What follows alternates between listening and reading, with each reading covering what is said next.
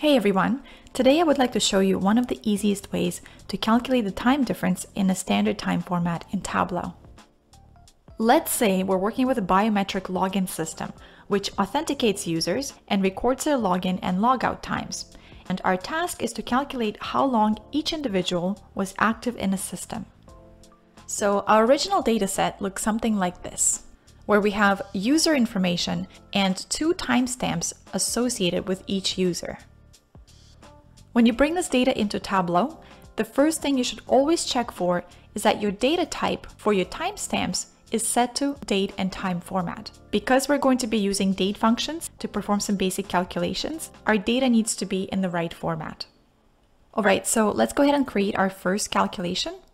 For this calculation, we'll simply compute the time difference in seconds between the login and logout time for each user. So for that, we're going to use the date diff function our date part in this case is going to be second. Our second argument is going to be the login time. And the third argument is going to be the logout time. And this is going to give us the total difference in seconds. Let's change this continuous field to discrete and bring it into the view.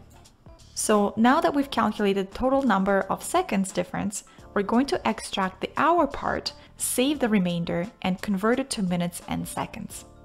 Alright, so to find out how many hours goes into the total number of seconds, we need to divide the total number of seconds by 3600. So let's go ahead and create another calculated field.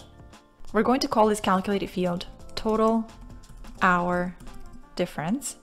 And then we're going to take the total difference in seconds and divide it by 3600. We also want to make sure that we round down the integer or the resulting value. So we are going to be using the floor function for that. So once again, let's convert our calculated field to discrete and bring it into the view. Okay, so now let's take a closer look at our result. The total hours are calculated correctly, and this is exactly what we want. However, the number format for the hour part needs to match the standard time format. If we have a single digit, it needs to have a leading zero in front of it. But if the hour part is two digits, we need to leave it as is. So we are going to modify our calculation slightly and append the leading zero. Okay, so let's go in and edit the total hour difference calculation. And the first thing we'll do here is we're going to convert the statement to a string using the str function and then we'll use the right function to append the zero. Okay, so let's have a look at what this gives us. Let's bring the total hour difference back in the view. And now we can clearly see that we have our leading zeros. And finally, all we have to do now is convert the remaining part of the hours into minutes and seconds.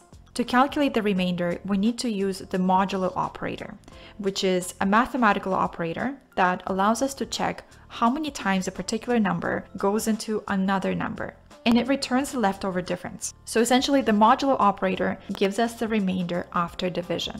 Let's duplicate the total hour difference calculation, and now we're going to edit it. So first of all, let's go ahead and rename it as total minute difference and now we're going to change this part of the calculation. So instead of dividing our total difference in seconds by 3600, we're going to use the modulo operator, which is a percent sign. This is going to allow us to keep the remainder of the hour part. And then we're going to divide the result by 60 to find out the minute part. Let's bring this calculation into the view. And now we have our total minute part. So to convert the remainder into seconds, we're going to duplicate the total minute difference. We're going to edit the calculation. So you're simply going to take the remainder and divide it by 60, and this is going to give you the remaining part of the minute converted into seconds. So once again, we're going to rename this as total seconds difference. Let's go ahead and save it and bring it into the view. So now that we have our total hour, minute, and second part, all we need to do is combine those three pieces of information together. Let's go ahead and concatenate this result into the final standard time format. So once again, we're creating a calculated field. This is going to give us total duration. And now we want to take our total hour difference And then we're going to add the total minute difference to this. And for the last part, we're simply adding the total difference in seconds.